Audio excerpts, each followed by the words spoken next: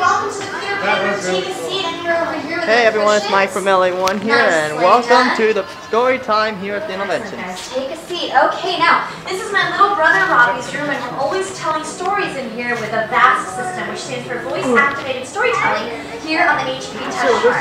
That means the room is always listening to us. So, room, can we have story time, please? Oh wow. And just like that, the room changes to story time setting. Okay, now to actually start the story, I'm going to need everyone's help, okay? We're going to use our imagination, as awesome as they are, and reach up into this magical room, grab a handful of pixie dust out of the air. I don't see any. Oh, Gotta use your imagination, that's why. Alright, we got our pixie dust. Okay, and on the count of three, what we're gonna do is blow the pixie dust all around the room, and that should get our story started. Let's give it a try. One, two, three. And there you go. So keep your eyes peeled all around the room. There's something different happening on all the screens. Here we go. Now this is the story of the adventures of Peter Pan. This has all happened before, and it will all happen again.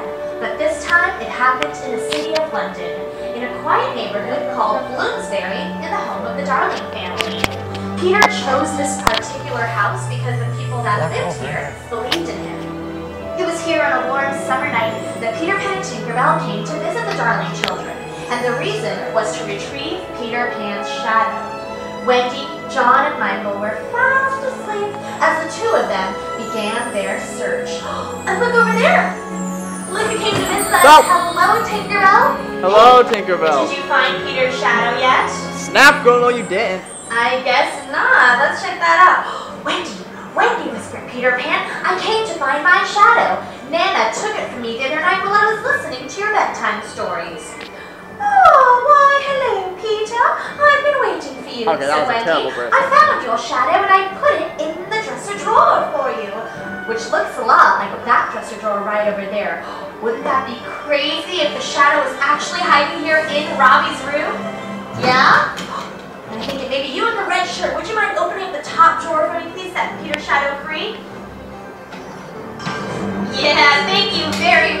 Kind of blinded you there too. All right, go ahead, take a seat. Thank you.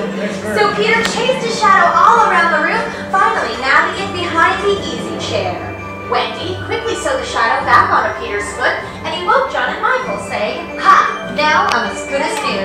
Everyone ready to go to Neverland?" Yo ho! Wonderful, they shouted. So he sprinkled some of Tinkerbell's pixie dust all over the darling children, and with happy thoughts, they were airborne. Come on, everybody, here we go! Neverland. So they flew out the window and into the night sky. Now, I don't know if you've ever flown on your own before, but I've heard that it takes a little getting used to. And for Wendy, John, and Michael, they had never experienced anything as wonderful or as exciting as soaring over the rooftops of London. But as for Nana, their dog, she wasn't very happy about it. She was supposed to be babysitting the children this particular evening. Oh, before the children knew it, they were soaring over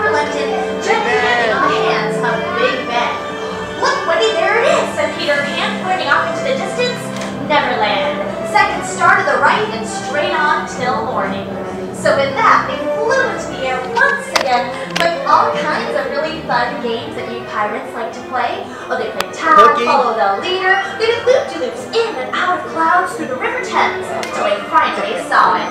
Neverland! Oh, Peter, it's the most beautiful place I've ever seen, cried Wendy. Filled with dazzling rainbows, deep, dark forests, an Indian camp, mermaid lagoon, and the ship, the Jolly Roger. Oh. Look out, cried Peter Pan, as Captain Hook and his pirates began firing cannonballs at them. All right, you two over here in the white shirts, would you like to be pirates today? Yes. Yes, come on over here, pirates. Oh, look at the can. Your cannon is smoking, alright. So when I say fire, you're gonna take two shots each, okay? And pull on the rope. Ready? Aim wherever you'd like. Who's gonna go first and I'll hand it Oh, off to you, okay? don't shoot at Ready? me. Aim, fire! No. Aren't you glad you're sitting over there? Try over here. Your second try. Ready? Aim, fire! Nice, and now the pirate princess. Ready? Aim, fire at will. Anyone Thank you for missing.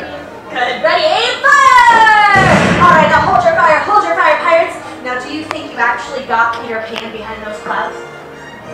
Good, because if you did, that would be a really short story, right? Yeah, but check it out. What did Peter do? He hid behind you guys. Take a look. Peter flew out of the clouds, he and Captain Hook a duel to the death. Oh, it was a frightening spectacle with the slashing of sails, the clashing of swords, cutting of ropes, the chopping of mustaches, and the mincing of words. Even though Captain Hook was mean in the extreme, there was one thing that shivered his timbers. Tick tock, tick tock, tick tock, for his tick snuff to arrive. And like all heroes, brave and true, Peter Pan vanquished evil Captain Hook, and last we saw him, he was trying to avoid Bye, bye, Captain Hook. Have fun It's a Small World. So now Peter Pan was Captain Pan, and the Jolly Roger was truly jolly. With a little help from Tinkerbell's pixie dust, they set sail into the night sky, returning back to their cozy nursery in Bloomsbury, where they were just in time to hear another story about Neverland. And I wouldn't doubt that as you told the story, Peter Pan was very nearby,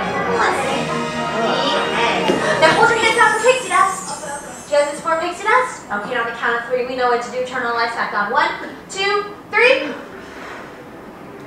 Oh, wow.